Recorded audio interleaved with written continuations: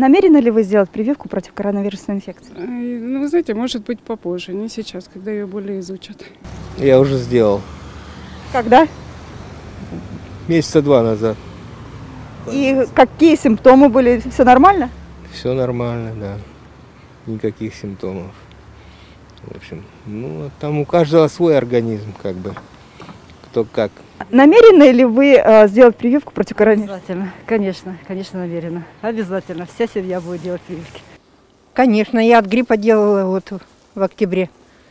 Так что и от этого сделаю обязательно. Вы намерены сделать прививку против коронавирусной инфекции? Нет. Почему? А потому что у меня онкология, во-первых. И кто мне даст гарантию, что не будет у меня дальнейших последствий? Вы намерены сделать прививку против коронавирусной инфекции? Еще не думала. Еще не думала. Ну, надо. Я знаю, что надо. Хотя я и живу одна. Дети у меня в Москве.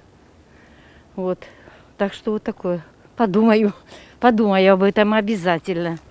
Ну, во-первых, у меня много хронических э, заболеваний, и иммунная система ослаблена, и возраст. Так что пока не определилась. Вы намерены сделать прививку против коронавирусной инфекции? Нет. Что вас останавливает? Ну, это вирус, зачем? Переболеть так переболеть. Как грипп. Ну, смириться и жить с этим надо. Если вам предложат сделать прививку пр- против коронавирусной инфекции, вы согласитесь? Нет, Почему? ну, потому что, я не знаю, не болела, да, даже если заболею, я знаю то, что это, ну, обычная, наверное, простуда. Не знаю, может быть, потому что выздоровлю.